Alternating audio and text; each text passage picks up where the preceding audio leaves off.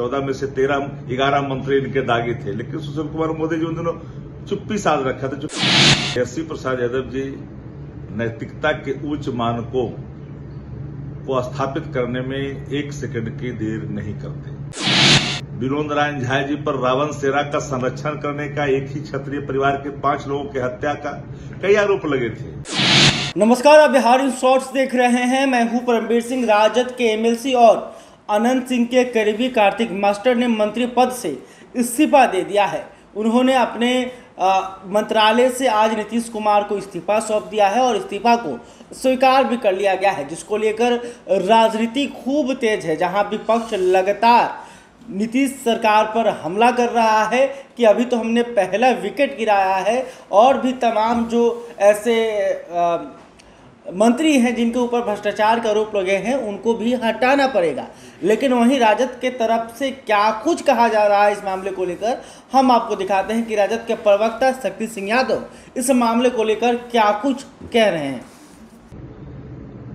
गन्ना विकास मंत्री कार्तिक कुमार जी का इस्तीफा इस बात का पूरा पूरा संदेश बिहार के अवाम में चला गया कि तेजस्वी प्रसाद यादव जी नैतिकता के उच्च मानकों को स्थापित करने में एक सेकंड की देर नहीं करते।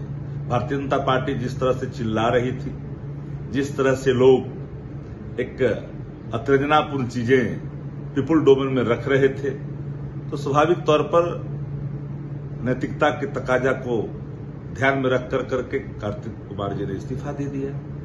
ये उच्च मानक है नैतिकता का, राजनीतिक सूचिता का। भारतीय जनता पार्टी कोटे से मंत्री विनोद नारायण झा जी पर रावण सेरा का संरक्षण करने का एक ही क्षत्रिय परिवार के पाँच लोगों की हत्या का कई आरोप लगे थे।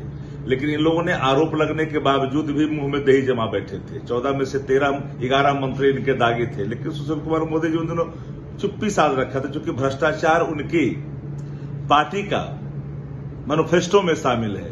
वो जानते हैं कि हमारा जन्म सिद्ध अधिकार है, पर यहाँ नहीं। बिहार की जनता के सामने तेजस्वी जी ने जो वचनबद्धता दोहराई है और नीतीश कुमार जी के नेतृत्व में जो आगे बढ़े हैं तो यह बात कान खोल करके सुन लेनी चाहिए कि किसी परिस्थिति में स्वच्छता को कभी भी समाप्त होने नहीं देंगे। स्वच्छता कायम होगी राजनीति में। उच्च तो आपने देखा कि शक्ति सिंह यादव ने कहा कि ये राजनीति में नैतिकता का एक प्रकाष्ठा है कि हम लोग तेजस्वी यादव ने नैतिकता को देखते हुए यह फैसला लिया है और इस फैसले का स्वागत कार्तिक सिंह ने किया है, कार्तिक मास्टर ने किया है और अपने पद से इस्तीफा दे दिया है। इसके साथ ही उन्होंने कहा कि जब इसी बिहार में एनडीए की सरकार थी और भाजपा के जो नेता मंत्री थे, उसमें से 10 से अधिक नेता दागी थे, यानी कि उनके ऊपर भी भ्रष्टाचार और कई सारे आपराधिक मामले दर्ज थे।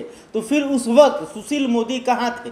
सुशील मोदी आखिर अपने मंत्रियों से इस्तीफा क्यों नहीं मांग रहे थे? तो कहीं ना कहीं शक्ति सिंह यादव ने भाजपा पर पलटवार किया है और कार्तिक सिंह मास्टर के इस फैसले का स्वागत भी किया है। बहरहाल, अब तक आपने हमारे चैनल को सब्सक्राइब नहीं किया तो तुरंत कर लें। इस खबर को लेकर आप क्या सोचते हैं, कमेंट करके बताइएगा। वीडियो फेसबुक पर देख रहे हैं तो हमारे पेज को भी लाइक करें। धन्यवाद।